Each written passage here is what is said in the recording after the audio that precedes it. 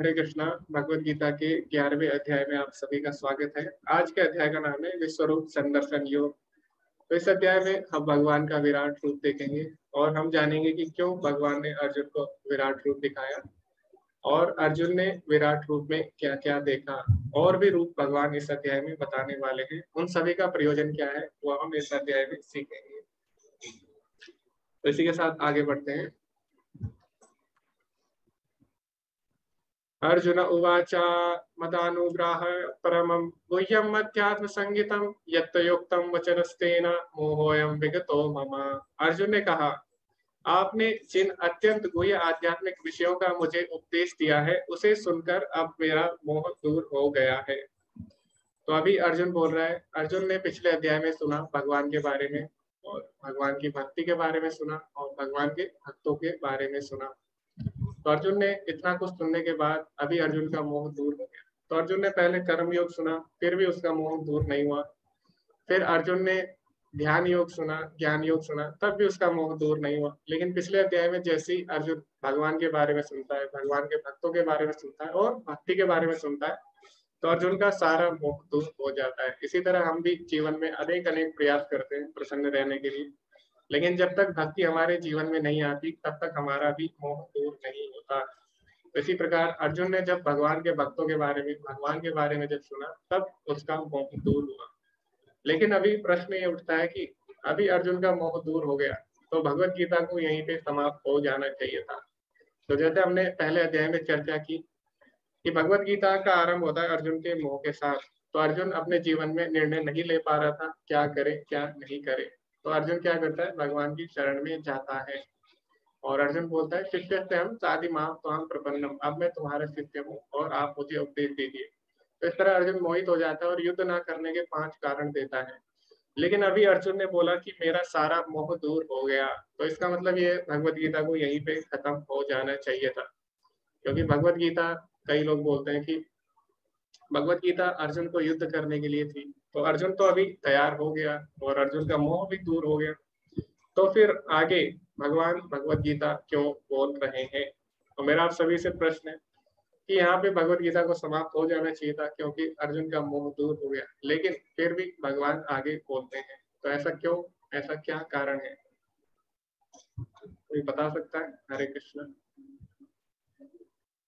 तो भगवत गीता अर्जुन के मोह से आरंभ होती है। अभी अर्जुन का मोह समाप्त हो गया। तो यहाँ पे भगवत गीता समाप्त हो जानी चाहिए। लेकिन अभी भी भगवत गीता है। अभी तो हम बीच में है भगवत गीता के।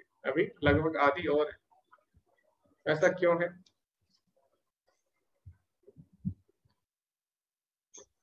ओके। हरे कृष्णा, श्वेता माता जी। प्रभु जी भगवत गीता एक्चुअली जो अर्जुन थे, वो तो प्रभु के नित्य सखा थे। तो ये हम लोगों के लिए, हम बद्ध जीवों के लिए उन्होंने प्रश्न किए थे। और हम ही का मुँह दूर करने के लिए भगवान बोल रहे हैं। तो ये हमारे लिए है। अर्जुन का तो मुँह दूर हो गया था पर हम लोगों का तो अभी भी दूर नहीं हुआ होगा इतना सुनने के बाद जी माता जी बिल्कुल सही उत्तर दिया माता जी ने। तो हमें समझना होगा भगवत गीता केवल अर्जुन के लिए नहीं है। क्योंकि अगर भगवत गीता केवल अर्जुन के लिए होती तो यहाँ पे अर्जुन का मोह दूर हो गया। तो अभी भगवत गीता को खत्म हो जाना चाहिए था। लेकिन भगवत गीता हम सभी के लिए और हमें जानना होगा कि अर्जुन का एक नाम है गुड़ाकेश। तो गुड़ाकेश का मतलब होता है जिसने अज्ञानता पर विजय प्राप्त कर ली हो। तो अर्जुन का नाम था गुड़ाकेश। तो इसीलिए अर्जुन को तो कभी भी अज्ञान नहीं आ सकता था वैसे भी, क्योंकि अर्जुन गुड़ाकेश था, उसने अज्ञानता पर विजय प्राप्त कर ली थी।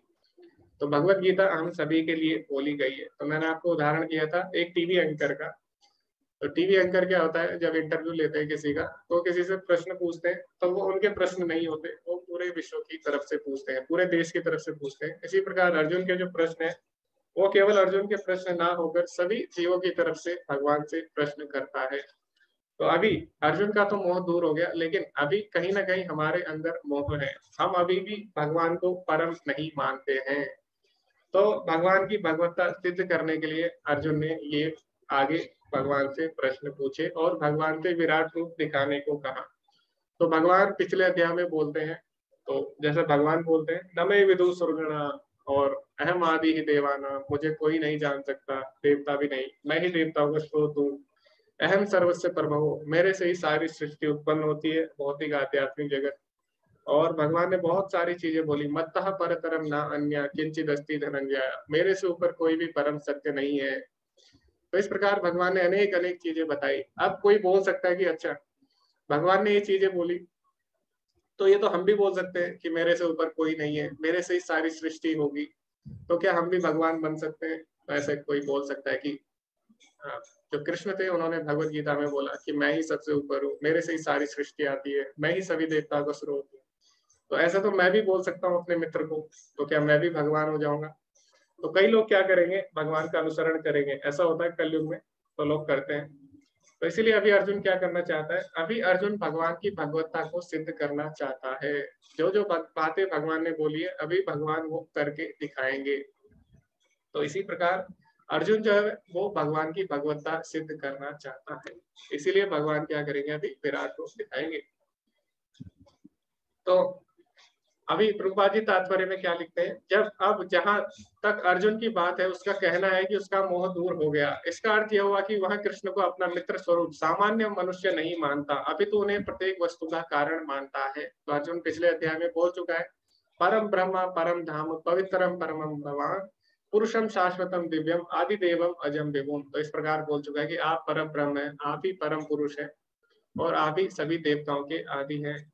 किंतु अब वह सोचता है कि भले ही वह कृष्ण को हर वस्तु का कारण मान ले, किंतु दूसरे लोग नहीं मानेंगे। अतः इस अध्याय में सबों के लिए कृष्ण की अलौकिकता स्थापित करने के लिए कृष्ण से प्रार्थना करता है कि वे अपना विराट रूप दिखाएँ। तो अभी अर्जुन क्या करना चाहता है? अभी सभी जीवों का मोह दूर करने के लिए वो क्या करेगा? भगवान से प्रार्थना करेगा कि आपने जो जो बातें बोली है, उन्हें आप सिद्ध करके दिखाएँ। तो ऐसा नहीं है, अर्जुन तो भगवान का भक्त था, लेकिन अर्जुन ये क्यों बोल रहा है ताकि कुछ जो नास्तिक लोग हैं, कुछ लोग जो भगवान में विश्वास नहीं करते या जो भगवान को, भगवान का अनुकरण करना चाहते हैं, यानी भगवान को कॉपी करना चाहते हैं तो उनके सामने भगवान की भगवत्ता सिद्ध हो सके। इसीलिए अर्जुन ने प्रश्न किया। अभी आगे अर्जुन क्या बोलता है? हे कमल नेत्रों वाले, मैंने हर जीवित इकाई की उपस्थिति और गायब होने के बारे में विस्तार से आपसे सुना है, जैसे कि आपकी अटूट महिमाओं के माध्यम से महसूस किया है। हे पुरुषोत्तम, हे परमेश्वर, यद्यपि आपको मैं अपने समकक्ष, समक्ष आपके द्वारा वर्णित, आपके वास्तविक रूप में देख रहा हूँ, किंतु मैं यह देखने का इच्छुक हूँ कि आप इस दृश्य जगत में किस प्रकार प्रविष्ट हुए हैं। मैं आपके इस उसी रूप का दर्शन करना चाहता हूँ। हे प्रभु, हे योगेश्वर, यदि आप सोचते हैं कि मैं आपके विश्व रूप को देखने में समर्थ हो सकता हूँ तो कृपा करके मुझे अपना असीम विश्व रूप दिखाइए। तो यहाँ पर हमें सीखना होगा अर्जुन से। कि अर्जुन क्या कर रहा है? अर्जुन भगवान से प्रार्थना कर रहा है। अर्जुन बोला कि यदि आपको लगे कि मैं आपका विश्व रूप देखने के लायक हूँ तो आप मुझे अपना विश्व रूप दिखाइए। तो अर्जुन क्या कर रहा है? भगवान को चैलेंज नहीं कर रहा। अर्जुन भगवान को चुनौती नहीं दे रहा कि अगर आप भगवान है तो मुझे सिद्ध करके दिखाइए। अर्जुन क्या कर रहा है? अर्जुन भगवान से प्रार्थना कर रहा है। तो यही हमारा भाव भी होना चाहिए। हम अपनी बुद्धि से या हम चाहे, अपनी इच्छा से भगवान को नहीं देख सकते। तो अगर भगवान को देखना है तो हम भगवान की कृपा से ही उनको देख सकते हैं। तो इसीलिए हमें भगवान से प्रार्थना करनी होती है। हम भगवान को चैलेंज नहीं कर सकते। तो जैसे अगर आपको राष्ट्रपति से मिलना है तो आप क्या करोगे? आप उसे चैलेंज नहीं कर सकते कि यदि तुम राष्ट्रपति हो तो मेरे सामने आओ। उसके लिए आपको क्या करना पड़ेगा? खुद राष्ट्रपति से मिलना होगा। उसके लिए आपकी योग्यता होनी चाहिए और एक प्रक्रिया के द्वारा ही आप उनसे मिल सकते हो। लेकिन अभी भगवान क्या है? भगवान तो अनंत कोटि ब्रह्मांडों के राष्ट्रपति है, अनंत कोटि ब्रह्मांडों के नायक है। तो उनसे मिलने की भी एक प्रक्रिया है, उनसे मिलने की भी एक योग्यता होनी चाहिए। वो प्रक्रिया कौन सी है? वो है भक्ति की प्रक्रिया। तो भगवान को हम चुनौती के द्वारा नहीं देख सकते, उसके लिए हमें क्या करनी पड़ेगी? भगवान से प्रार्थना करनी पड़ेगी। तो कैसे हम भगवान को देख सकते हैं? ब्रह्म संहिता में आता है, प्रेमान जन चुरति भक्ति विलोचन है ना संत सदैव हृदय विलोकयंती प्रेम आंजन, यानी प्रेम के काजल से और भक्ति की आँखों से हम भगवान को सदैव देख सकते हैं। तो ऐसा क्रम संहिता में आता है। तो इसी तरह हमें अर्जुन से सीखना होगा कि हमें क्या करना होगा। अगर हमें भगवान के बारे में जानना है, भगवान को देखना है तो उसके लिए हमें भगवान से प्रार्थना करनी होती है। हम उनको चुनौती नहीं दे सकते। तो इस प्रकार हम आगे बढ़ते हैं। अर्जुन ने भगवान कृष्ण से विश्व रूप दिखाने को क्यों कहा? इसकी हम चर्चा पहले ही कर चुके हैं। ऐसा नहीं है अर्जुन को कृष्ण पर संदेह था, नहीं। अर्जुन को क्या कृष्ण पे संदेह है कि वो भगवान है कि नहीं? नहीं। अर्जुन तो पहले ही बोल चुका है, परम ब्रह्म, परम धाम, पवित्रम, परमम भगवान, पुरुषम शाश्वतम, दिव्यम आदि देव अजम विभो। तो अर्जुन कृष्ण को भगवान मान चुका है तो उसे कृष्ण पर संदेह नहीं था। वह खुद को खास मानता था, नहीं, ये भी कारण नहीं है। अर्जुन तो भगवान का दास अपने आप को मानता है। ऐसा नहीं है कि अपने आप को भगवान का विशेष मित्र मानता है, इसीलिए वो भगवान को विराट रूप दिखाने को बोल रहा है। अर्जुन क्यों बोल रहा है? लोगों को समझाने के लिए। जो सोचेंगे कि कृष्ण एक साधारण व्यक्ति है, उनको समझाने के लिए अर्जुन भगवान को बोलता है विश्वरूप दिखाने को।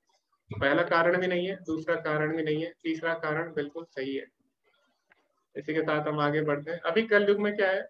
कलयुग में अगर हम देखें तो बहुत सारे भगवान के अवतार घूम रहे हैं। कम से कम अगर आप कल के अवतार की हम बात करें तो कम से कम तीस से ज़्यादा कल के अवतार अभी भगवान के घूम रहे हैं। तो वो लोग बोलते हैं कि हम भगवान है। तो इसी तरह जैसे भगवान कृष्ण भी भगवत गीता में बोलते हैं कि मैं भगवान हूँ और मैं ही परम पिता हूँ। पिता मत्स्य जगतो माता दाता पिता मा।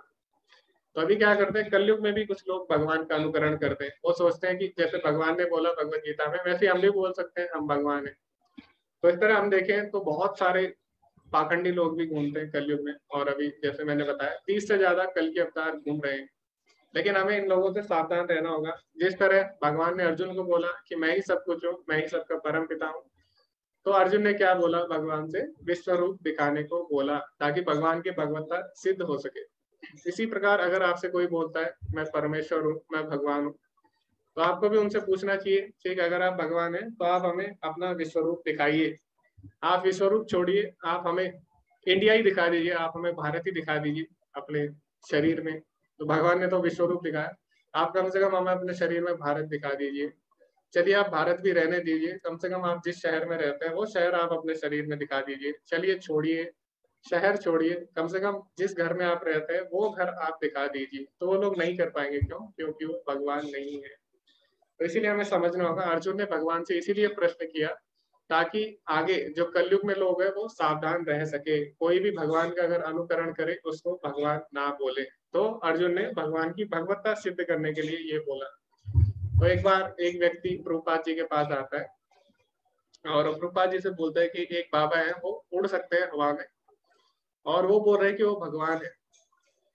तो प्रभुपाद जी बोलते हैं, इसमें कोई बड़ी बात नहीं है। चिड़िया भी हवा में उड़ सकती है, लेकिन इसका मतलब ये नहीं है कि वो भगवान है। तो हमें समझना होगा, हमें ऐसे लोगों से बचना होगा।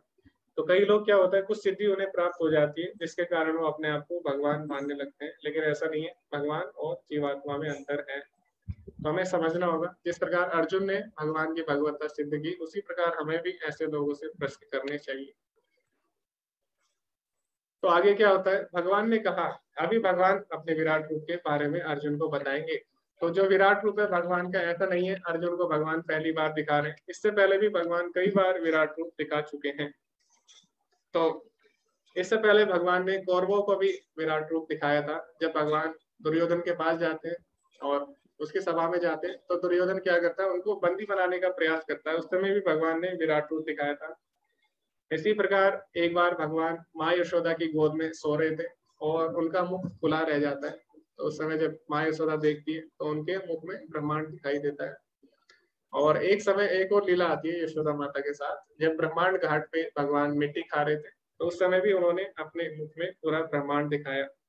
इस तरह अनेक बार भगवान ये कर चुके हैं। तो भगवान के लिए विराट रूप दिखाना कोई बड़ी बात नहीं है। भगवान ने कहा, हे अर्जुन हे पार्थ, अब तुम मेरे ऐश्वर्य को सैकड़ों हज़ारों प्रकाश के दैवी तथा विविध रंगों वाले रूपों को देखो। हे भारत, लो, तुम आदित्यों, वसुओं, रुद्रो, अश्वनी कुमारों तथा अन्य देवताओं के विभिन्न रूपों को यहाँ देखो। तुम ऐसे अनेक आश्चर्यमय रूपों को देखो जिन्हें पहले किसी ने ना तो कभी देखा है, ना कभी सुना है। हे अर्जुन, तुम जो भी देखना चाहो, उसे तत्ण मेरे इस शरीर में देखो। तुम इस समय तथा भविष्य में भी जो देखना चाहते हो उसको यहाँ विश्व रूप दिखाने वाला है। यहाँ एक ही स्थान पर चर अचर सब कुछ है। किंतु तुम मुझे अपनी इन आँखों से नहीं देख सकते। अतः मैं तुम्हें दिव्य चक्षु दे रहा हूँ। दिव्यम ददामी दे चक्षु। अब मेरे योग ऐश्वर्य को देखो।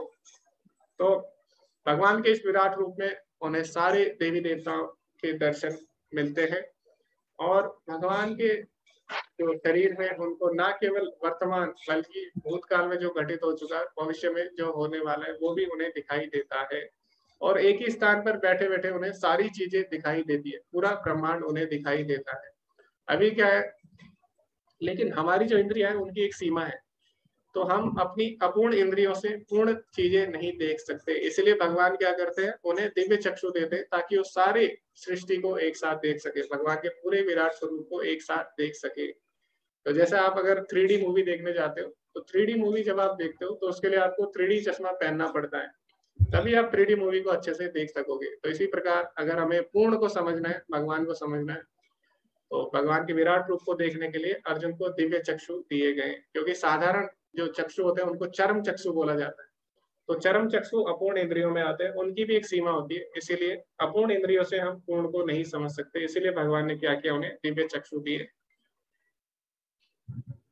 संजय उवाच, एवं मुक्ता ततो राजन। महायोगेश्वरो हरि, दर्शयामास पाथाय परमम रूपम ऐश्वरम संजय ने कहा, हे राजा, इस प्रकार कहकर महायोगेश्वर भगवान ने अर्जुन को अपना विश्व रूप दिखलाया। तो अर्जुन ने विश्व रूप में क्या क्या देखा? अर्जुन ने इस विश्व रूप में असंख्य मुख, असंख्य नेत्र तथा असंख्य आश्चर्यमय दृश्य देखे। यह रूप अनेक दैवी आभूषणों से अलंकृत था और अनेक दैवी हथियार उठाए हुए था। यह दैवी मालाएँ तथा वस्त्र धारण किए थे और उस पर अनेक दिव्य सुगंधियाँ लगी थी। सब कुछ आश्चर्यमय, तेजमय, असीम तथा सर्वत्र व्याप्त था। यदि आकाश में हज़ारों सूर्य एक साथ उदय हो तो उनका प्रकाश शायद परम पुरुष के इस विश्व रूप के तेज को, तेज की समता कर सके। तो हमें पता है, अभी गर्मियों के समय जब आकाश में एक सूर्य आता है तो पूरी रूप से जब आ जाता है तो बहुत ज़्यादा परेशानी हो जाती है। लेकिन अभी जो भगवान का विश्व रूप है, उसमें हज़ारों सूर्य के समान तेज है। तो उसको देखने के लिए हाँ उसको देखने के लिए हमें क्या चाहिए? दिव्य चक्षु चाहिए। उसको हम साधारण नेत्रों से नहीं देख सकते। तो इसीलिए भगवान ने क्या किया? अर्जुन को दिव्य चक्षु दिए। उस समय अर्जुन भगवान के विश्व रूप में एक ही स्थान पर स्थित हज़ारों भागों में विभक्त ब्रह्मांड के अनंत अंशों को देख सका। तो अभी जैसे सीसीटीवी कैमरा होता है, उसमें क्या होता है, जब आप जाओगे कंट्रोल रूम में तो बहुत सारे सीसीटीवी कैमरे लगे होते हैं और आप उन्हें एक जगह पर देख सकते हैं, एक स्क्रीन पे। आप गेट पे क्या हो रहा है और यहाँ पे क्या हो रहा है, उस जगह क्या हो रहा है, सभी दृश्य आप एक साथ देख सकते हैं स्क्रीन पे। तो इसी प्रकार जो भगवान का विश्व रूप था, उसमें ब्रह्मांड के विभिन्न अंशों में क्या हो रहा है, सारा अर्जुन एक साथ देख सकता था। लेकिन जो सीसीटीवी है और या जो हमारी टीवी स्क्रीन है, उस पर हम क्या कर सकते हैं? उस पर हम भूत में क्या हुआ, वो तो हम देख सकते हैं, लेकिन आगे क्या होने वाला है, वो हम नहीं देख सकते। और उसकी भी एक सीमा होती है तो उसमें क्या होता है, उसमें सारी चीज़ें एक साथ नहीं देख सकते कभी कभी हमें चैनल बदलना भी पड़ता है। लेकिन यहाँ पर अर्जुन को चैनल नहीं बदलना पड़ा। अर्जुन सब चीज़ एक साथ देख सकता था। तो वहाँ पे नहीं है, ऐसा नहीं है कि वहाँ पे अलग अलग स्क्रीन में सब आ रहा था। अर्जुन एक साथ ये सारी चीज़ें देख सकता था। तब मोहग्रस्त एवं आश्चर्यचकित रोमांचित हुए अर्जुन ने प्रणाम करने के लिए मस्तक झुकाया और वह हाथ जोड़कर भगवान से प्रार्थना करने लगा। तो जब अर्जुन भगवान के इस विराट रूप को देखता है तो अर्जुन बहुत ही भयभीत हो जाता है और वो क्या करता है? भगवान के आगे हाथ जोड़कर प्रार्थना करता है। अर्जुन ने कहा, हे भगवान कृष्ण, मैं आपके शरीर में सारे देवताओं तथा अन्य विविध जीवों को एकत्रित देख रहा हूँ। मैं कमल पर आसीन ब्रह्मा शिव जी तथा समस्त ऋषियों एवं दिव्य सर्पों को देख रहा हूँ। पश्चामी देवान तब देव देव तो अर्जुन बोलता है, जैसे भगवान ने बोला कि मैं सारे देवी देवताओं का स्रोत हूँ, अहम आदि ही देवाना तो अभी भगवान ने सिद्ध करके बताते हैं और अर्जुन को सारे देवी देवताओं के दर्शन अपने विराट रूप में करवाते हैं। तो उसमें अर्जुन सारे देवी देवताओं को देखता है। यहाँ तक कि वो ब्रह्मा जी को भी कमल पर स्थित देखता है और शिव जी के भी दर्शन कर पाता है। ब्रह्मांड मीशम कमल आसनस्तम हे विश्वेश्वर, हे विश्वरूप, मैं आपके शरीर में अनेक अनेक हाथ, पेट, मुँह तथा आँखें देख रहा हूँ, जो सर्वत्र फैले हैं और जिनका अंत नहीं है। आप में न अंत दिखता है, न मध्य और न आदि। आपके रूप को उसके चकाचौन के कारण देख पाना कठिन है। क्योंकि वह प्रज्वलित अग्नि की भांति अथवा सूर्य के अपार प्रकाश की भांति चारों ओर फैल रहा है तो भी मैं इस तेजो में रूप को सर्वत्र देख रहा हूँ, जो अनेक मुकुटों, गदाओं तथा चक्रों से भूषित है। तो जो भगवान का विराट रूप है, ऐसा नहीं है कि वो एक जगह पर स्थिर है। भगवान का जो विराट रूप है, वो फैलता ही जा रहा है और फिर भी अर्जुन क्या कर रहा है? अर्जुन फिर भी उसको देख पा रहा है। क्यों? क्योंकि उसके पास दिव्य चक्षु है। अभी अर्जुन आगे भगवान से बोलता है, आप परम आद्य के वस्तु है, आप इस ब्रह्मांड के परम आधार है, आप अव्य तथा पुराण पुरुष है, आप सनातन धर्म के पालक भगवान, यानी आप सनातन धर्म के पिता हैं, यही मेरा मत है। आप यदि मध्य तथा अंत से रहित है, आपका यश अनंत है, आपकी असंख्य बुझाएँ हैं और सूर्य चंद्रमा आपकी आँखें हैं। मैं आपके मुख से प्रज्वलित अग्नि निकलते और आपके तेज से इस संपूर्ण ब्रह्मांड को जला जलाते हुए देख रहा हूँ। यद्यपि आप एक है, किंतु आप आकाश तथा सारे लोगों एवं अनेक उनके बीच समस्त आकाश में व्याप्त है। हे महापुरुष, आपके इस अद्भुत तथा भयानक रूप को देखकर सारे लोग भयभीत है। देवों का सारा समूह आपकी शरण ले रहा है और आप में प्रवेश कर रहा है। उनमें से कुछ अत्यंत भयभीत होकर हाथ जोड़े आपकी प्रार्थना कर रहे हैं। महर्षियों तथा सिद्धों के समूह कल्याण हो कहकर वैदिक स्रोतों का पाठ करते हुए आपकी स्तुति कर रहे हैं। तो अभी जो भगवान का विराट रूप है, उसको साधारण व्यक्ति नहीं देख सकते अपने चरम चक्षु से। तो उसे केवल वही देख सकते हैं जिन्हें दिव्य चक्षु प्रदान है, या फिर जिनके पास दैवी चक्षु है। तो जितने भी देवी देवता है, जितने भी ऋषिगण है तो उन सभी के पास क्या है? वो सभी, उन सभी का दैवी शरीर है। तो इसीलिए उनके पास दिव्य चक्षु है। तो वो लोग भी भगवान के इस विराट स्वरूप को देख सकते हैं। तो वो लोग भी भगवान के विराट स्वरूप को देख रहे हैं और वो भी क्या कर रहे हैं? भगवान की स्तुतियाँ कर रहे हैं। तो जो भगवान ने विराट स्वरूप बनाए, वो पूरी ब्रह्मांड से मिलकर बनाए। इसीलिए यहाँ पे भगवान की जो आँखें, उनकी तुलना सूर्य से और चंद्र से की गई है। क्योंकि भगवान का विराट स्वरूप पूरी भौतिक प्रकृति से मिलकर बना है। हे महाबाहु, आपके इस अनेक मुख, नेत्र, बाहु जांग पाँव, पेट तथा भयानक दांतों वाले विराट रूप को देखकर देवतागण सहित सभी लोग अत्यंत विचलित है और उन्हीं की तरह मैं भी हूँ। हे सर्वव्यापी विष्णु, नाना ज्योतिर्मय रंगों से आपको आकाश तथा आकाश का स्पर्श करते मुख फैलाए तथा बड़ी बड़ी चमकती आँखें निकाल कर देख कर भय से मेरा मन विचलित है। मैं ना तो धैर्य धारण कर पा रहा हूँ, ना ही मानसिक संतुलन पा रहा हूँ। तो अर्जुन जब भगवान का विराट रूप देखता है, उसको बिल्कुल भी प्रसन्नता नहीं होती। अर्जुन बहुत ज़्यादा भयभीत हो जाता है। और आगे अर्जुन भगवान का काल रूप देखता है। तो काल स्वरूप में भगवान क्या करते हैं? धृतराष्ट्र के सारे पुत्र अपने समस्त सहकारों सहित तथा भीष्म द्रोण, कर्ण एवं हमारे प्रमुख योद्धा भी आपके विकराल मुख में प्रवेश कर रहे हैं। उनमें से कुछ के सिरों को तो मैं आपके दांतों के बीच छोड़ने हुआ देख रहा हूँ। जिस प्रकार नदियों की अनेक तरंगे समुद्र में प्रवेश करती है, उसी प्रकार ये समस्त महान योद्धा आपके प्रज्वलित मुखों में प्रवेश कर रहे हैं। तो काल स्वरूप में वो देखता है कि भगवान क्या कर रहे हैं? काल रूप में सभी का भक्षण कर रहे हैं।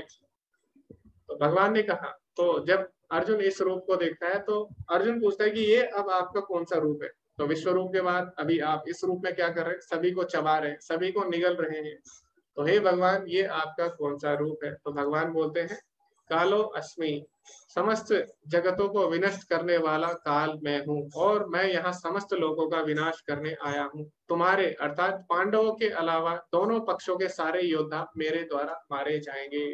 तो अभी भगवान अपना काल स्वरूप अर्जुन को दिखाते हैं और बोलते हैं कि तुम्हारे अलावा जो भी बाकी योद्धा है, उनको मैं भक्षण कर दूँगा। तो अभी भगवान अर्जुन से क्या बोलते हैं? तस्मात्तिष्ठा यशो लभस्व चित्वा शत्रुन् भुक्ष राज्यं समृद्धम् मय्येवैते निहता पूर्वमेव निमित्त मात्रम भव सभ्य साचिन तो भगवान अर्जुन से बोलते हैं, अर्जुन अथा उठो, लड़ने के लिए तैयार हो और यश अर्जित करो, अपने शत्रुओं को जीतकर संपन्न राज्य का भोग करो। ये सब मेरे द्वारा पहले ही मारे जा चुके हैं, और हे सव्य साची तुम तो युद्ध में केवल निमित्त मात्र हो सकते हो। तो भगवान बोले, हे अर्जुन, तुम क्या हो? केवल एक निमित्त मात्र हो। वास्तव में ये सभी लोग मेरे द्वारा पहले ही मारे जा चुके हैं। तो मेरा आप सभी से प्रश्न है कि भगवान बोल रहे हैं अर्जुन को कि इनको मैं पहले ही मार चुका हूँ। तो तुम क्या बनो? तुम केवल एक निमित्त मात्र बनो, यानी तुम इसका श्रेय लो। तो ऐसा भगवान क्यों कर रहे हैं? जब भगवान उनको पहले ही मार चुके हैं। तो भगवान अर्जुन को क्यों युद्ध करने को बोल रहे हैं? भगवान उन्हें स्वयं भी मार सकते हैं। तो अर्जुन को ऐसा क्यों बोल रहे हैं कि अर्जुन तुम इनको मारो और इसका श्रेय लो? तो ऐसा भगवान क्यों कर रहे हैं? क्यों नहीं भगवान स्वयं उनको मार देते हैं? हरे कृष्णा, नीलम माता जी हरे कृष्णा प्रभु जी जैसा कि प्रभु जी हम शुरू से सुनते और समझते आ रहे हैं कि भगवान सिर्फ़ अपने भक्तों का यश चाहते हैं। तो अर्जुन जो है वो परम भक्त हैं। उनका उनके द्वारा वो हम सभी को समझाना चाहते हैं कि हमारे कर्म क्या है भक्ति क्या है और ध्यान क्या है। तो उनका यश हो सके इसलिए क्योंकि भगवान सब कुछ खुद ही करते हैं उन्हीं की सारी लीलाएँ हैं और इसी वजह से हम ये सारे कर्म करते हैं। जी जी जी माता जी धन्यवाद। हरे कृष्णा निशा माता जी। तो हरे कृष्ण प्रभु जी। प्रभु जी, मुझे ऐसा कि इस वक्त युद्ध चल रहा है और अर्जुन जो है, वो क्षत्रिय है। तो क्षत्रिय का जो धर्म है, वो भगवान जी ये चाहते हैं कि वो इस अपना धर्म निभाए, इसलिए ये उसके द्वारा करवाना चाहते हैं। ओके, जी, धन्यवाद माता जी ओके तो अर्जुन भगवान के द्वारा शिक्षा देना चाहते हैं कि अपने कर्तव्य का पालन करना। ओके, ये भी सही आंसर है। लेकिन जो वास्तविक उत्तर है, वो इसी श्लोक में भगवान ने छिपाया है। तो इसी श्लोक में उत्तर भी छुपा है। तो भगवान क्या बोले अर्जुन को? तस्मात उत्तिष्ठा यशो लभस्सा, युद्ध करो और यश अर्जित करो।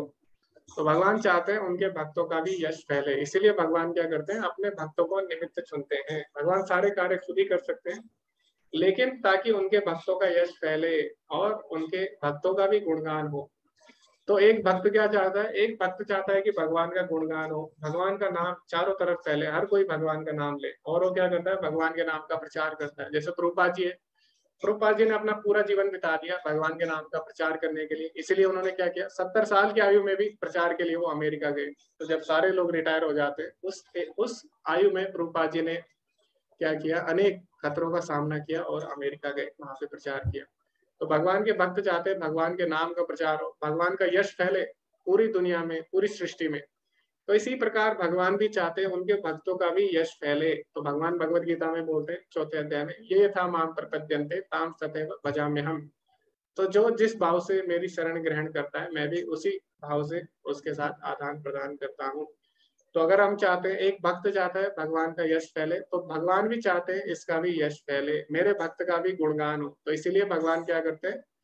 भगवान उसको निमित्त चुनते हैं, ताकि उसका यश फैले और उसके यश को सुनकर और लोग भी भक्ति की तरफ़ आकर्षित हो। जैसे हनुमान जी है। तो हनुमान जी को भगवान ने क्यों सेवा दी? भगवान अकेले भी मार सकते थे रावण को, या रावण को मारने के लिए भगवान को आने की आवश्यकता भी नहीं थी। लेकिन भगवान ने क्या किया? भगवान आते हैं, मन में जाते हैं और सबको इकट्ठा करते हैं, सबको सेवा में लगाते हैं। क्यों? ताकि उनका यश फैले। तो आज हनुमान जी का यश इतना है इतना है कि जो भी हनुमान जी के बारे में सुनता है, वो भी भगवान की भक्ति करना चाहता है। तो इससे क्या होता है, जब हम भक्तों के यश के बारे में सुनते हैं तो उससे हम भी भगवान की तरफ़ आकर्षित होते हैं। तो इसीलिए भगवान चाहते हैं भक्तों का यश फैले। तो भगवान क्या करते हैं, अपने भक्तों को निमित्त बनाते हैं। तो जैसे एक डॉक्टर होता है, डॉक्टर क्या करता है?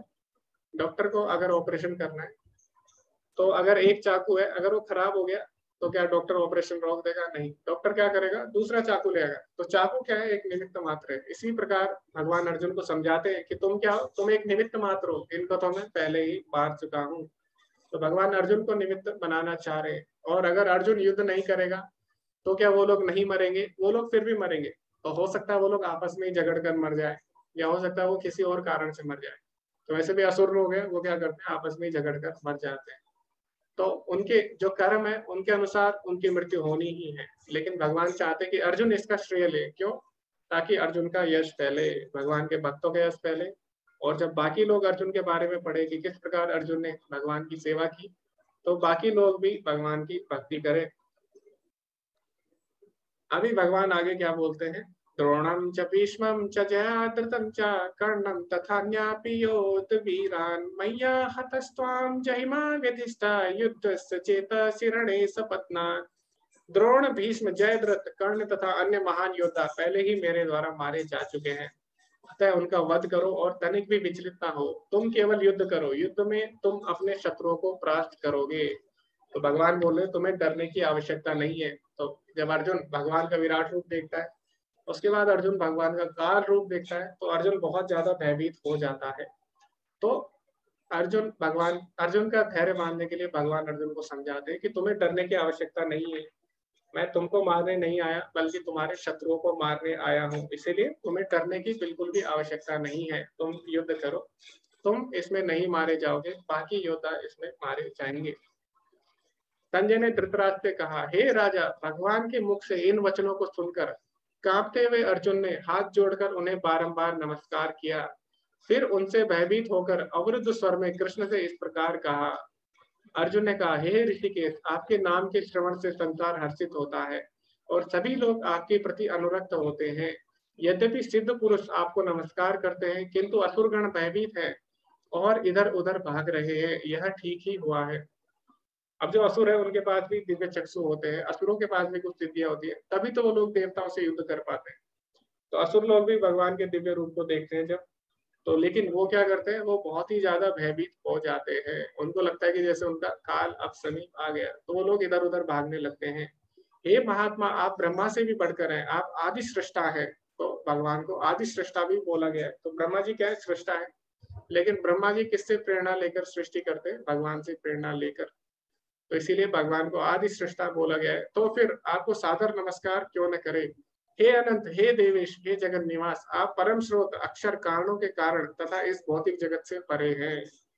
तो अर्जुन बोला, आप इतने महान हैं तो क्यों ना कोई आपको नमस्कार करे? तो यानी आप स्वाभाविक रूप से हमारे स्वामी हैं तो आपको नमस्कार कोई क्यों न करे? आप आदिदेव, सनातन पुरुष तथा इस दृश्य जगत के परम आश्रय हैं। आप सब कुछ जानने वाले हैं और आप ही सब कुछ है जो जानने योग्य है। तो बोल रहे आप सब कुछ जानते हैं और आप ही जानने योग्य है। आप भौतिक गुणों से परे, परम आश्रय हैं। ये अनंत रूप, यह संपूर्ण दृश्य जगत आपसे व्याप्त है। तो इस प्रकार अर्जुन भगवान की स्तुति करता है और यहाँ पर अर्जुन एक बहुत ही सुंदर पंक्ति भगवान को बोलता है। तो अर्जुन जब भगवान का विराट रूप देखता है, भगवान का ऐश्वर्य देखता है, भगवान का काल रूप देखता है तो अर्जुन क्या बोलता है? सखेति मत्वा प्रसदम यदुक्तम हे कृष्ण, हे यादव, हे सखेति, अजानता महिमानम तवेदम मया प्रमादात प्रणयेन वापी। आपको अपना मित्र मानते हुए मैंने हट पूर्वक आपको, हे कृष्ण, हे यादव, हे सखा जैसे संबोधनों से पुकारा है। क्योंकि मैं आपकी महिमा को नहीं जानता था। मैंने मूर्तावश या प्रेमवश जो भी किया, कृपया उसके लिए मुझे क्षमा कर दे। यही नहीं, मैंने कई बार आराम करते समय, एक साथ लेटे हुए या साथ साथ खाते या बैठे हुए, कभी अकेले तो कभी अनेक मित्रों के समक्ष आपका अनादर किया है। हे अच्युत, मेरे इन समस्त अपराधों को क्षमा कर दे। तो अर्जुन क्या करता है, जब भगवान के ऐश्वर्य को देखता है, भगवान के काल रूप को देखता है तो अर्जुन भगवान से क्षमा माँगता है। बोलता है कि, हे भगवान, मैं तो आपको अपना मित्र मानता था, लेकिन आप तो परम पुरुष है, आप तो परम भगवान है और आपका ऐश्वर्य तो अनंत है। और मैं तो आपको अपना मित्र मानते हुए आपको अनेक नामों से बुलाता था। हे कृष्ण, हे यादव, मैं ऐसे कह के आपको बुलाता था, लेकिन आप तो परम पिता, परमेश्वर हो, आप अनंत कोटि ब्रह्मांड के स्वामी हो। लेकिन मैं क्या करता था, आपके साथ ही खाता था और आप आपकी थाली में ही मैं खा लेता था कई बार। कभी कभी मैं आपके साथ ही सो जाता था और क्या करता था कभी कभी मैं आपका उपहास भी उड़ाता था सारे मित्रों के सामने। तो इस प्रकार मेरे से गलती हो गई। कृपया मुझे क्षमा कर दे। तो यहाँ पर अर्जुन भगवान से क्षमा माँगता है। तो तो मेरा यहाँ पर आप सभी से एक प्रश्न है। तो देखते हैं आप क्या उत्तर करते हैं। तो यहाँ पर अर्जुन बोल रहा है कि मुझे क्षमा कर दीजिए। मुझे पता नहीं था कि आपका ऐश्वर्य, आपकी महिमा इतनी अपार है। तो उस कारण मैंने क्या किया? मित्र रूप में आपके सामने, आपके साथ मैंने अनेक उपहास किया, आपके साथ खाया, आपके साथ सोया। तो कृपया मुझे क्षमा कर दीजिए। मुझे पता नहीं था कि आप परम भगवान हैं। तो मेरा आप सभी से प्रश्न है कि जो भगवान के भक्त होते हैं, वो भी भगवान को, उन्हें भी पता नहीं होता कि जो भगवान है, वो भगवान है। जैसे यशोदा माता है, वो क्या करती है, भगवान के पीछे भागती है और उनको मारने के लिए भागती है, छड़ी लेकर उनके पीछे। तो इसी तरह यहाँ पे अर्जुन भी बोल रहा है कि आपको अपना मित्र समझकर मैं आपके साथ खाता था, आपका मज़ाक भी उड़ाता था, आपको अनेक नामों से मैं संबोधित भी करता था। तो मेरा आपसे ये प्रश्न है कि जो भगवान के भक्त होते हैं, उन्हें भी पता नहीं होता कि भगवान भगवान है। इसी प्रकार जो असुर होते हैं, असुर लोगों को भी पता नहीं होता कि भगवान भगवान है। तो फिर दोनों में अंतर क्या है? कोई बता सकता है? यहाँ पे अर्जुन को भी नहीं पता था कि वो भगवान है। और इसी तरह हम देखते हैं, असुर जो होते हैं, वो भी भगवान को भगवान नहीं मानते। तो जो भगवान के शुद्ध भक्त होते हैं, बहुत शुद्ध भक्त होते हैं, वो भी भगवान को भगवान नहीं मानते। और जो असुर होते हैं वो भी भगवान को भगवान नहीं मानते। तो ऐसा क्यों है? और दोनों में क्या अंतर है?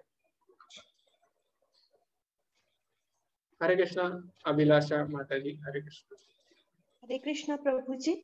वृत्ति का फ़र्क है मनोवृत्ति या उनके मन के भाव का। दोस्तों का अगर हम मज़ाक भी उड़ाते हैं तो लेकिन हमारे पीछे उसमें प्रेम होता है। मतलब दोस्ती होती है अपनापन होता है। मज़ाक में भी एक उसके प्रति जो भाव है वो दूसरा होता है। और जो राक्षस गण है या जो भगवान को नहीं मानते उसमें अहम होता है कि मैं शक्तिशाली हूँ उनसे मैं अपने सिवा किसी को नहीं मानता। तो ये रीजन हो सकता है। जी माता जी बहुत ही सुंदर आपने उत्तर दिया। हरे कृष्णा विश्वनाथ प्रभु जी आप इसमें कुछ बोलना चाहेंगे? हरे कृष्णा प्रभु जी। जी जी। मैंने कहने का है कि जो जैसे जो भक्त होते हैं जो जैसे भक्त अपने दास के रूप में भगवान को मैं दास हो जैसे माता जसोदा पुत्र के रूप में उनको चाहती थी तो उनका जो भाव था उनका जो प्रेम था वो प्रेम था पुत्र के प्रति। वो इसलिए वो चाहती थी कि मेरा पुत्र है उनको सब भूल गए थे कि ये भगवान है। उसी तरह से जो भक्त होते हैं वो अपने आप को दास मानते हैं और दास मानते हुए उनमें समर्पित कर देते हैं। असुर लोग जो है वो तो उनसे बैर करते हैं नहीं ये हो ही नहीं सकते भगवान। ये अंतर है भगवान भक्त में और मेरे हिसाब से। जी जी, धन्यवाद। अभी हमारे पास समय नहीं है इतना, फिर भी हम सुधीर प्रभु जी को सुनते हैं। हरे कृष्णा, सुधीर प्रभु जी जी हरे कृष्णा, आपकी आवाज़ नहीं आ रही है प्रभु जी ओके। हरे कृष्णा। ओके, क्षमा करें प्रभु जी, आपकी आवाज़ नहीं आ पा रही है, शायद। आपके यहाँ नेटवर्क का कोई इशू है? जी तो बिल्कुल सही उत्तर दिया माता जी ने और प्रभु जी ने कि दोनों में भावना का अंतर होता है कि जो भगवान के भक्त भी होते हैं, वो भी भगवान को भगवान नहीं मानते। जो असुर होते हैं, वो भी भगवान को भगवान नहीं मानते। तो निशा माता जी भी यही बोल रही है कि दोनों में भावना का अंतर है। तो जो भगवान के भक्त होते हैं, वो प्रेम के कारण भगवान को भगवान नहीं मानते। तो वो इतना अधिक प्रेम करते हैं भगवान से कि वो भगवान को भगवान नहीं मानते। दूसरी तरफ़ जो असुर लोग होते हैं, वो भी भगवान को भगवान नहीं मानते। लेकिन क्यों? ईर्ष्यावश, क्योंकि वो अपने आप को भगवान मानते। तो असुर लोग अपने आप को भगवान मानते हैं इसीलिए वो भगवान को भगवान नहीं मानते। और वही भगवान के भक्त है, वो क्या करते हैं? भगवान से अनेक रसों में जुड़ते हैं। जैसे वात्सल्य रस हो गया, उसमें यशोदा माता और देवकी और जो कौशल्य माता है, ये सभी किसमें? वात्सल्य रस में है। इसी प्रकार दास रस में हनुमान जी और साक्य रस में है, सुग्रीव है और अर्जुन है, ये सभी साक्य रस में इसी प्रकार माधुर्य रस में आती है, गोपिया आती है और भगवान की जो पत्नियाँ हैं, वो माधुर्य रस में आती है, मीराबाई, ये सभी माधुर्य रस में है। तो भगवान से हम अलग अलग रस में जुड़ सकते हैं। तो जब हम भक्ति में बहुत आगे बढ़ते हैं तो हम किसी न किसी रस में भगवान से जुड़ जाते हैं, जिस कारण हम भगवान को अपना अतरंग सखा, अपना मित्र, अपना प्रेमी, अपना पुत्र इत्यादि रूप में हम भगवान से जुड़ सकते हैं। तो अर्जुन प्रेम के कारण भूल जाता है कि भगवान भगवान है और यशोदा माता भी भूल जाती है कि भगवान भगवान है। क्यों? क्योंकि वो उनसे इतना प्रेम करते हैं। तो जैसे प्रधानमंत्री होता है, प्रधानमंत्री भले ही प्रधानमंत्री हो, लेकिन अपने घर में अपनी माँ के सामने वो क्या होगा? अपनी माँ के सामने एक बेटा रहता है क्योंकि माँ उनसे क्या करती है? बहुत ज़्यादा प्रेम करती है। तो माँ उन्हें इस तरह नहीं समझती कि प्रधानमंत्री इस तरह उनके साथ व्यवहार नहीं करती। क्यों? क्योंकि उनसे बहुत ज़्यादा प्रेम करती है। इसी प्रकार भगवान भगवान है, अनंत कोटि ब्रह्मांड के नायक है। लेकिन बहुत अधिक प्रेम के कारण भगवान के भक्त उनको भगवान की तरह नहीं मानते। तो कोई अपने पुत्र की तरह मानता है, कोई अपने प्रेमी की तरह मानता है और कोई अपने स्वामी की तरह मानता है। तो दोनों में ये अंतर है। पहले कभी ना देखे गए। आपके विराट रूप का दर्शन करके मैं पुलकित हो रहा हूँ, किंतु साथ ही मेरा मन भयभीत हो रहा है। अतः आप मुझ पर कृपा करें। हे देवेश, हे जगन निवास, अपना पुरुषोत्तम भगवत स्वरूप पुनः दिखाए। तो जो भगवान के भक्त होते हैं, वो भगवान के ऐश्वर्य से आकर्षित नहीं होते। तो जब भगवान ने अपना विराट रूप दिखाया तो अर्जुन को अच्छा लगा, लेकिन अर्जुन प्रसन्न नहीं हुआ। तो अधिक समय तक वो प्रसन्न नहीं हुआ, बल्कि अर्जुन अंत में भयभीत हो जाता है। इसीलिए वो भगवान से बोलता है कि आप मुझे अपना पुनः वही रूप दोबारा से दिखाए। तो उससे पहले अर्जुन भगवान से प्रार्थना करता है, हे विराट रूप, हे सहस्त्र भुज भगवान, मैं आपके मुकुटधारी चतुर्भुज रूप का दर्शन करना चाहता हूँ, जिससे मैं आप, जिसमें आप अपने चारों हाथों में शंख चक्र, गदा तथा पद्म धारण किए हो। मैं उसी रूप को देखने की इच्छा करता हूँ। हे कुरुश्रेष्ठ तुमसे पूर्व मेरे विश्व रूप को किसी ने नहीं देखा तो भगवान अर्जुन को बताते हैं, क्योंकि मैं ना तो वेदाध्यन द्वारा, न यज्ञ दान, पुण्य या कठिन तपस्या द्वारा इस रूप में, इस संसार में देखा जा सकता हूँ। तो अगर हमें भगवान को देखना है तो हम अपने प्रयासों से भगवान को नहीं समझ सकते। भगवान को देखना है तो हमें भगवान की कृपा चाहिए होगी। भगवान की कृपा से ही हम भगवान को समझ या देख सकते हैं। तुम मेरे भयानक रूप को देखकर अत्यंत विचलित एवं मोहित हो गए हो।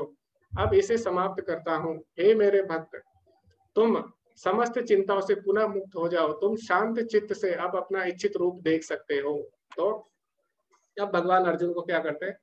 अर्जुन के कहने पर भगवान उनको विष्णु रूप भी दिखाते चतुर्भुज रूप। और उसके बाद अंत में भगवान अपने द्विभुज, श्याम सुंदर रूप में वापस आ जाते हैं। संजय ने धृतराष्ट्र से कहा, अर्जुन से इस प्रकार कहने के बाद भगवान कृष्ण ने अपना असली चतुर्भुज रूप प्रकट किया और अंत में दो भुजाओं वाला रूप प्रदर्शित करके भयभीत अर्जुन को धैर्य बनाया तो आगे जब अर्जुन भगवान का पुनः श्याम सुंदर रूप देखता है तो अर्जुन क्या बोलता है? अब अर्जुन ने कृष्ण को उनके आदि रूप में देखा तो कहा, हे जनार्दन, आपके इस अति सुंदर मानवीय रूप को देखकर मैं अब स्थिर चित्त हूँ और मैंने अपनी प्राकृत अवस्था प्राप्त कर ली है। तो अभी क्या करता है, जब अर्जुन भगवान के विराट रूप को देखता है। उसमें क्या था? अनेक भुजाएँ थी, अनेक हाथ थे, अनेक सिर थे। तो अर्जुन क्या करता है? भयभीत हो जाता है। उसके बाद अर्जुन भगवान को बोलता है कि आप इस रूप को बंद करिए और मुझे अपना श्याम सुंदर रूप दिखाइए। तो कैसे होगा? मान लीजिए आपको कोई मित्र है और आपके, आपको पता लगे कि आपके मित्र के चार हाथ है, चार पैर है, चार आँखें चार सिर है। तो आपको सही तो लगेगा, आपका मित्र है, लेकिन आपको इतना अच्छा नहीं लगेगा। तो आपका मित्र जब सामान्य रूप में आपके साथ रहेगा, तब आपको ज़्यादा अच्छा लगेगा। तो इसी प्रकार अर्जुन क्या करता है, भगवान के ऐश्वर्य को देखता है, लेकिन वो इतना ज़्यादा प्रसन्न नहीं होता। तो भगवान के भक्त भगवान के ऐश्वर्य से इतनी ज़्यादा आकर्षित नहीं होते। तो भगवान को श्याम सुंदर रूप में देखना चाहते हैं। जैसे कि मैं आपको उदाहरण देता हूँ। आपका कोई मित्र है और वो बहुत बड़ी कंपनी का मालिक है, लेकिन जब आप उसको, उसके ऐश्वर्य रूप में देखते हो उसकी कंपनी में आप जाते हो तो वहाँ पे आप उसके साथ ज़्यादा हँसी मज़ाक नहीं कर सकते। वहाँ पे आप उसके कंधे पे हाथ नहीं रख सकते। उसकी थाली में आप खाना नहीं खा सकते और उसको आप चिढ़ा नहीं सकते। उसके साथ मज़ाक आप नहीं कर सकते। तो इसी प्रकार जो विराट रूप है, भगवान का ऐश्वर्य रूप है, उससे हम अनेक रसों से नहीं जुड़ सकते। तो ऐश्वर्य रूप में जब भगवान महाविष्णु के रूप में होते तो सारे देवी देवता वहाँ पे क्या करते हैं? हाथ जोड़कर खड़े रहते हैं। वहाँ पे कोई भी भगवान से मज़ाक नहीं कर सकता या कोई भगवान को कुछ बोल नहीं सकता, उनके साथ अनेक लीलाएँ नहीं कर सकता। तो वहाँ पे भगवान ऐश्वर्य रूप में होते हैं। लेकिन जब आपका मित्र घर पे होता है तो वहाँ पे घर पे आप क्या कर सकते हैं? उसके साथ खेल सकते हैं, उसके साथ खा सकते हैं, उसको आप अलग अलग नामों से बुला सकते हैं। तो इसी प्रकार जो भगवान है, भगवान विष्णु रूप में होते हैं या विराट रूप में होते हैं तो वहाँ पे सारे देवी देवता उनकी स्तुति करते हैं। लेकिन जो भगवान के भक्त है, वो उनके साथ अनेक रस में नहीं जुड़ सकते। तो भगवान का जो घर का रूप है, वो कौन सा है? भगवान का श्याम सुंदर रूप। तो भगवान के भक्त जब उनको श्याम सुंदर रूप में देखते हैं तो बहुत ही अधिक प्रसन्न होते हैं। तो अर्जुन ने जब भगवान के ऐश्वर्य रूप को देखा तो अर्जुन इतना अधिक प्रसन्न नहीं हुआ। लेकिन जब भगवान ने अपना श्याम सुंदर रूप दिखाया तो अर्जुन ने क्या बोला, मैं पुनः अपनी प्राकृतिक अवस्था को प्राप्त कर चुका हूँ। तो यानी अर्जुन दोबारा से प्रसन्न हो जाता है और अर्जुन की चिंताएँ सारी दूर हो जाती है। श्री भगवान ने कहा, हे अर्जुन, तुम मेरे जिस रूप को इस समय देख रहे हो, उसे देख पाना अत्यंत दुष्कर है। यहाँ तक कि देवता भी इस अत्यंत प्रिय रूप को देखने की ताक पे रहते हैं। तो भगवान बोलते हैं, देवता भी इस रूप को नहीं देख सकते। जो भगवान का श्याम सुंदर रूप है, उस रूप में देवता भी उनके दर्शन नहीं कर सकते। क्योंकि देवता भगवान को ऐश्वर्य रूप में देखते हैं, महाविष्णु के रूप में देखते हैं। तो भगवान के अगर श्याम सुंदर रूप को देखना है तो केवल भगवान के शुद्ध भक्त ही उनको देख सकते हैं। जैसे कि प्रधानमंत्री है, प्रधानमंत्री अपने कार्यालय में क्या करता है, ऑफ़िस में क्या करते हैं? और वो जब लोकसभा जाते हैं, वहाँ पे क्या करते हैं, वो सबको पता रहता है, सारे लोग देख सकते हैं। और वहाँ पे सभी लोग उनका आदर करते हैं, हाथ जोड़कर खड़े रहते हैं और उनको सैल्यूट करते हैं। लेकिन प्रधानमंत्री के घर में कोई नहीं जा सकता। वहाँ पे आपको नहीं पता वो घर में क्या करते हैं, अपनी माता के साथ वो क्या करते हैं, अपने भाइयों के साथ क्या करते हैं, बहुत ही कम लोगों को पता होता है। तो इसी प्रकार भगवान विष्णु के रूप में जब होते हैं, अपने ऐश्वर्य रूप में, वहाँ पे सभी देवता उनके पास जाते हैं, उनसे प्रणाम करते हैं। लेकिन अपने घर में जब भगवान अपने धाम में होते हैं वहाँ पे केवल उनके शुद्ध भक्ति ही जा सकते हैं। इसीलिए भगवान का जो श्याम सुंदर रूप है, वो क्या है? भगवान बोलते हैं इसमें, सुदुर्दशम इदम रूपम। ये जो रूप है, सुदुर्दशम, यानी बहुत ही अत्यंत है इसके दर्शन कर पाना। देवा अप्यस्य से नित्य दर्शन कांक्षिणा। देवता भी इसके दर्शन के आकांक्षी रहते हैं। तो इस प्रकार भगवान अपने श्याम सुंदर रूप की महिमा का वर्णन करते हैं। और भगवान आगे बताते हैं कि किस प्रकार हम भी इसके दर्शन कर सकते हैं। तो अगर हमें भगवान के श्याम सुंदर रूप के दर्शन करने तो भगवान बोलते हैं, भक्त्या तो अनन्य शक्या अहम एवं विदु अर्जुना क्या तुम दृष्टुम च तत्व प्रवेश हे अर्जुन, केवल अनन्य भक्ति द्वारा ही मुझे उस रूप में समझा जा सकता है, जिस रूप में मैं तुम्हारे समक्ष खड़ा हूँ, और इसी प्रकार मेरा साक्षात दर्शन भी किया जा सकता है। केवल इसी विधि से तुम मेरे ज्ञान के रहस्य को पा सकते हैं। तो भगवान अर्जुन को बोलते हैं कि जिस रूप में तुम मुझे देख रहे हो इस रूप में केवल शुद्ध भक्त ही मुझे देख सकते हैं। देवता भी इस रूप को नहीं देख सकते। तो देवता भी भगवान के इस रूप को देखने की ताक में रहते हैं, लेकिन भगवान के भक्त आसानी से उनको इस रूप में देख सकते हैं। भक्त्या तो अनन्य शक्तिया। तो अनन्य भक्ति के द्वारा ही हम भगवान कृष्ण के श्याम सुंदर रूप के दर्शन कर सकते हैं और उनको हम समझ सकते हैं। इसी के साथ भगवान इस अध्याय को, इस अध्याय को विराम देंगे अंतिम श्लोक के साथ। तो इसके बाद जो अध्याय शुरू होने वाला है, वो भक्ति योग के बारे में है, इसीलिए भगवान क्या करते हैं, इस अध्याय के अंतिम श्लोक में हमें भक्ति योग का संकेत देते हैं। तो भक्ति की क्या महिमा है, वो हमें इस अध्याय में पता लगती है और इसके बाद कल से भक्ति योग का अध्याय आरंभ होगा। तो भगवान बोलते हैं, मत कर्म कृता, मत परमो, मत भक्त संग वर्जिता, निर्वैर सर्वभूतेषु या समामेति पांडवा। हे अर्जुन, जो व्यक्ति सकाम कर्मों तथा मनोधर्म के कलमश से मुक्त होकर मेरी शुद्ध भक्ति में तत्पर रहता है। मत कर्म करतो, मत परमो, मत भक्ता। तो जो भगवान की भक्ति करता है, जो मेरे लिए ही कर्म करता है, मत कर्म करतो। तो जो मुझे ही जीवन का लक्ष्य समझता है और जो प्रत्येक जीव से मैत्री भाव रखता है, निर्वैर सर्वभूतेशु यानी जो सभी को भगवान के अंश के रूप में देखता है, वह निश्चय ही मुझे प्राप्त करता है। तो इस प्रकार भगवान अपनी भक्ति की महिमा का वर्णन करते हैं। तो भगवान ने बताया इस अध्याय में? कि भक्ति के द्वारा ही उनके श्याम सुंदर रूप के दर्शन किए जा सकते हैं और भगवान को समझा जा सकता है। लेकिन भक्ति कैसे करें और भक्ति क्या है, वो भगवान कल के अध्याय में हमें बताएँगे। तो कल का अध्याय बहुत ही महत्वपूर्ण होने वाला है और कल के अध्याय का नाम है भक्ति योग। तो वैसे तो पूरी भगवत गीता ही भक्ति के विषय में लेकिन कल का जो अध्याय है विशेषकर वो हमें भक्ति के बारे में बताएगा। तो हमें क्या करना है, भगवान कृष्ण के प्रति अविभाजित भक्ति कैसे करें? तो आप थोड़ा समय निकालिए और विशेषकर सुबह का समय हमें निकालना होगा और आप एक माला हरे कृष्ण महामंत्र का जप कर सकते हैं। इसमें केवल आपको सात मिनट लगेंगे। तो शुरुआत हमें कैसे करनी है? भक्ति की भगवान का नाम लेकर। तो आप भगवान का नाम लीजिए। आगे भगवान ज़रूर आपको बुद्धि देंगे, आपकी सहायता करेंगे। जैसे अब तक भगवान ने आपकी सहायता की है, वैसे आगे भी करेंगे। तो बस आप क्या करिए अभी? एक माला हरे कृष्ण महामंत्र का जब आप आरंभ कर सकते हैं। तो भगवान को आपसे कुछ नहीं चाहिए। भगवान को ना आपसे बहुत ज़्यादा ऐश्वर्य चाहिए। भगवान बोलते हैं, पत्रम पुष्पम फलम तोयम। भगवान केवल पत्र, पुष्प, फल और जल से भी प्रसन्न हो जाते हैं। तो भगवान को आपसे महँगी महँगी वस्तुएँ नहीं चाहिए। बस आप क्या करिए, भगवान को अपना हृदय दीजिए और भगवान के नाम का जप करिए। भगवान और भगवान के नाम में कोई भी अंतर नहीं है। तो जो पद्म पुराण है, उसमें कहा गया है कि नाम चिंता मणि कृष्णा चैतन्य रस विग्रह और नित्य सुतो नित्य मुग्धो अभिन्न तुम नाम नाविना। नाम और नामी में कोई भी अंतर नहीं है। तो भगवान और भगवान के नाम में कोई अंतर नहीं है। नित्य शुद्ध, हमेशा शुद्ध है, हमेशा से मुक्त है। और क्या बोला गया नाम चिंतामणि। चिंतामणि यानी जो हमारी सारी इच्छाएँ पूरी कर सकता है, ऐसा मणि। तो भगवान का नाम हमारी सारी इच्छाएँ पूरी कर सकता है। नाम चिंतामणि कृष्ण। तो जो कृष्ण का नाम है वो चिंतामणि के समान है। चैतन्य रस विग्रह और ये सारे रसों का सार है। और नित्य शुद्धो, नित्य मुक्तो अभिन्नतम नाम नामिनो, दोनों में कोई अंतर नहीं है। तो इसीलिए हमें क्या करना है? भगवान का नाम लेना है। ये समझते हुए कि भगवान और भगवान के नाम में कोई अंतर नहीं है। तो इसी के साथ ये अध्याय समाप्त होता है। अर्जुन, एक बार हम इसका सारांश जान लेते हैं। तो अर्जुन ने भगवान से विश्व रूप दिखाने के लिए बोला। उसके बाद भगवान अपने विश्व रूप का वर्णन करते हैं। उसके बाद संजय भी विश्व रूप का वर्णन करते हैं।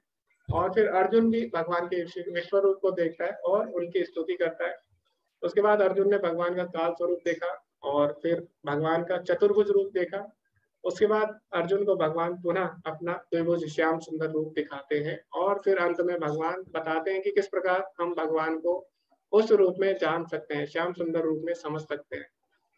तो इसी के साथ यह अध्याय समाप्त होता है। अंत में प्रभुपा जी क्या बोलते हैं, उसको हम समझेंगे।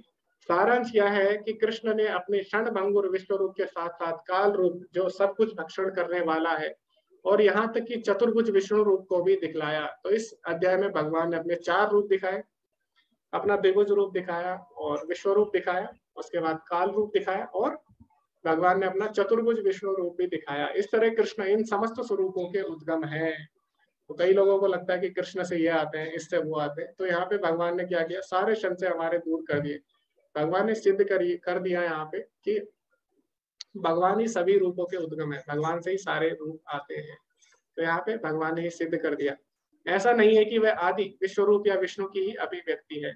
तो कई लोगों को लगता है कि जो कृष्ण है, वो, उन्होंने अभी ये रूप लिया है। तो पहले वो विश्व रूप में थे। नहीं, ऐसा नहीं है। भगवान का रूप शाश्वत है और भगवान से ही सारे रूप आते हैं। तो जितने भी रूप है, भगवान के शाश्वत है। तो जो भगवान का राम रूप है, वो भी साकेत धाम में रहते हैं। भगवान राम के रूप में रहते हैं। गोलोक धाम में भगवान कृष्ण के रूप में रहते हैं।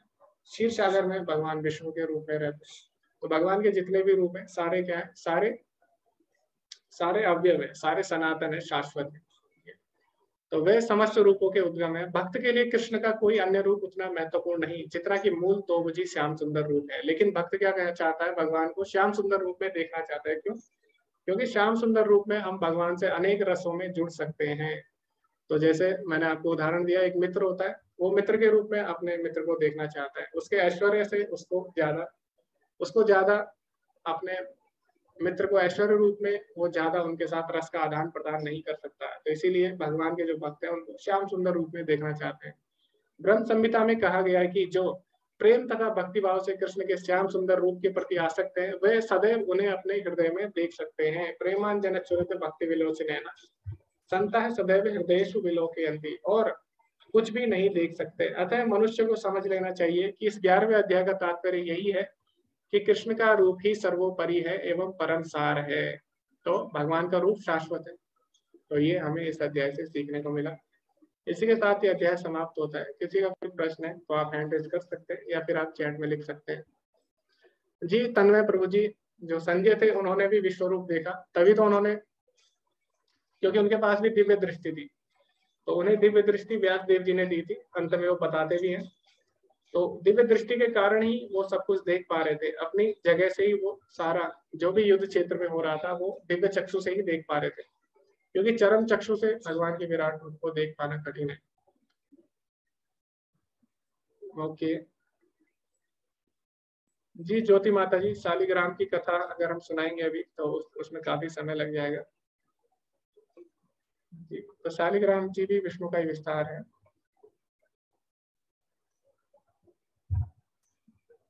जी माता जी 108 माला की रिकॉर्डिंग आप अगर YouTube पे सर्च करेंगे, प्रभुपाद चैंटिंग हरे कृष्ण महामंत्र तो उसमें आपको मिल जाएगी।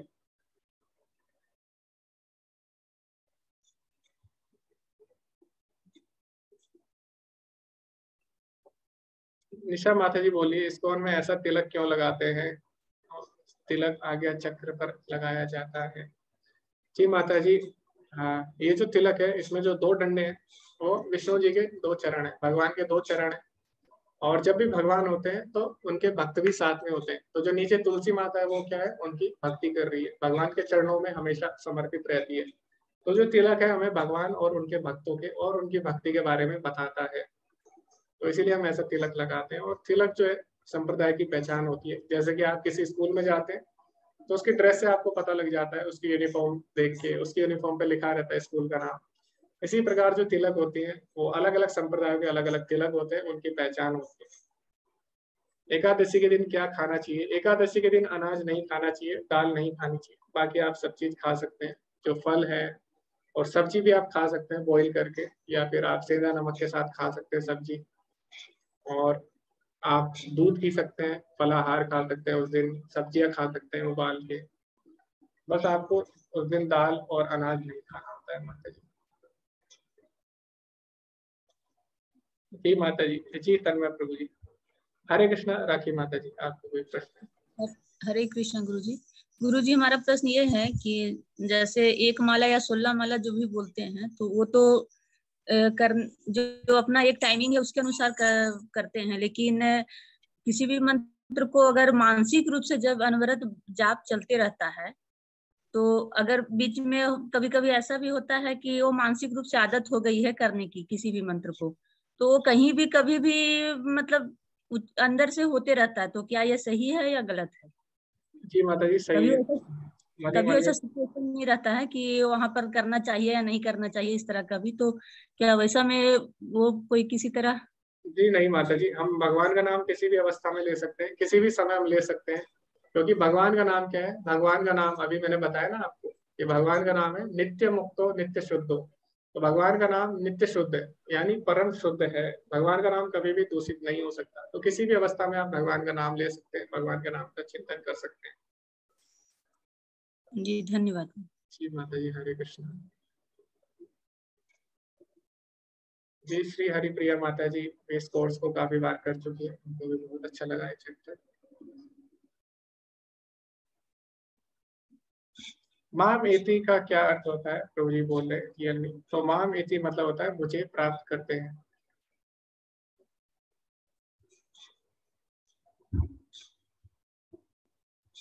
हरे कृष्णा सुलता माता जी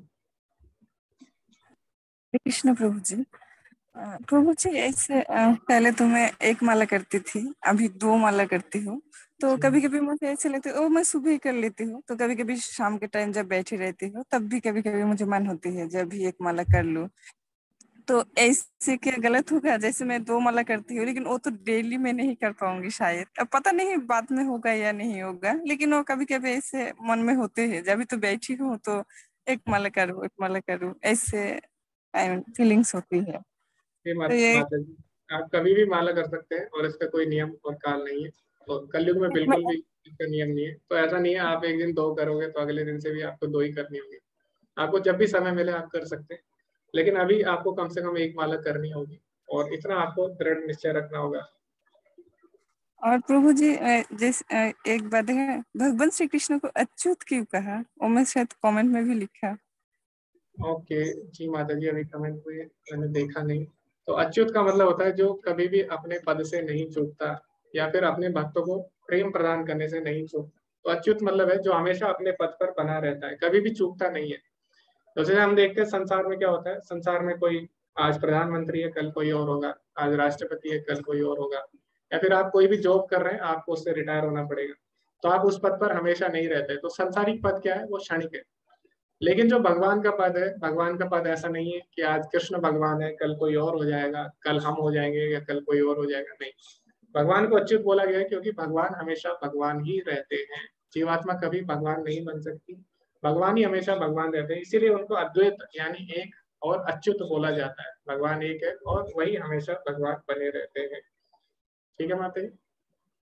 और एक और एक पूछू जैसे प्रभु जी होते हैं ना भगवान श्री कृष्ण ने से हम जितने भी सारे जीव हैं तो उनका ही शरण करते हुए हम लोगों का उद्धार होते हैं। लेकिन जो क्रिश्चियन लोग है, जो मुस्लिम लोग है, वो तो भगवान श्री कृष्ण का नाम नहीं लेते तो उन लोग कैसे उद्धार होते हैं? जी माता जी अलग अलग भगवान का जो नाम है, उनके अलग अलग मतलब होते हैं। तो सारे भगवान के ही नाम है। तो जैसे कृष्ण का मतलब होता है, कृष्ण का मतलब होता है जो सर्व आकर्षक है, यानी जो सबको आकर्षित करता है। इसी प्रकार जो क्राइस्ट जो शब्द है, उसका अगर देखें तो ग्रीक वर्ड कृष्टा से आता है। तो कृष्टा कृष्णा जो था संस्कृत का, वो कृष्टा हुआ। कृष्णा से फिर क्राइस्ट आया। तो कृष्णा का मतलब यही होता है जो सबको आकर्षित करता है। तो क्राइस्ट जब बोलते हैं तो वहाँ भी क्या कर रहे हो? भगवान का नाम ही ले रहे हैं। इसी प्रकार जो अल्लाह या जो अलग अलग जो भी नाम है तो वहाँ पे उसके भी अलग अलग मतलब है। जैसे किसी का मतलब है, सबसे दयालु है, ठीक है? तो कहीं पे बोला गया, सब सर्व आकर्षित है। तो कहीं पे बोला गया, उनको सर्वशक्तिशाली बोला गया। तो वो क्या है? भगवान को ही दर्शाते हैं अलग अलग शब्द।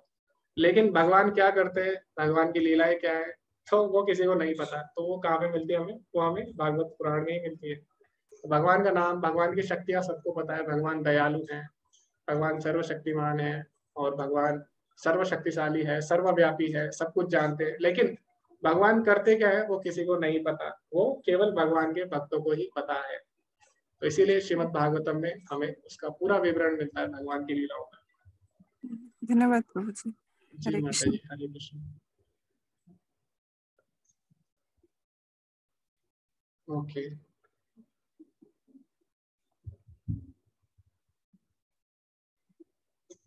ओके तो हेमा माता जी बोलिए कि भगवत गीता पढ़ रहे हैं, उसके लिए संस्कृत के श्लोक नहीं पढ़ पा रहे हैं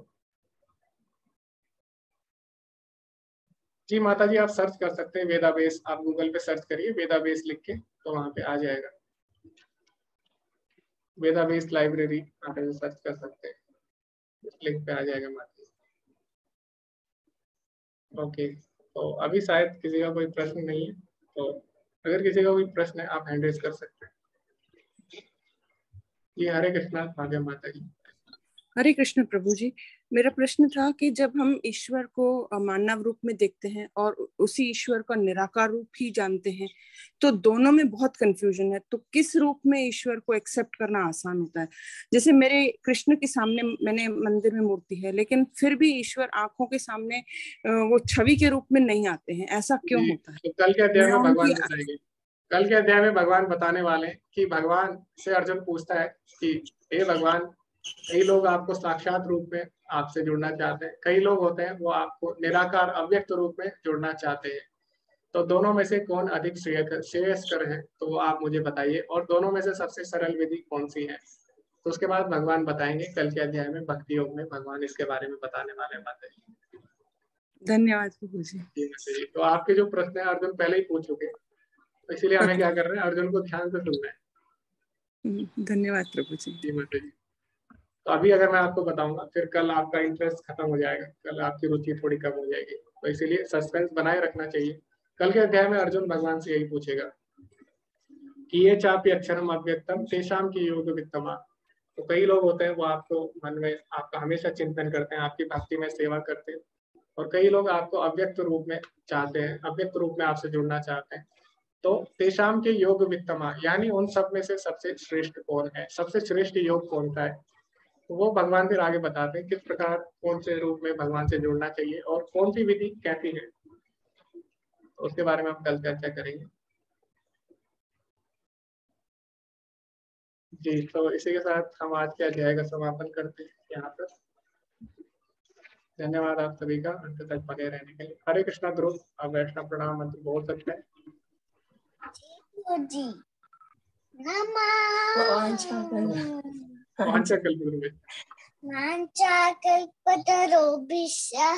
कृपा पतितानां पावनेभ्यो वैष्णवेभ्यो नमो नमः। नंदकोटि वैष्णव की जय। जय। की जय। हरे कृष्णा। हरे कृष्णा। धन्यवाद सभी का।